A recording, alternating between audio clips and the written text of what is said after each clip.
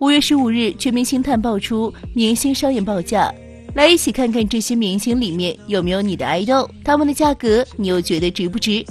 范冰冰以二百八十万的价格登顶，当红小花杨幂一百二十万，唐嫣七十八万。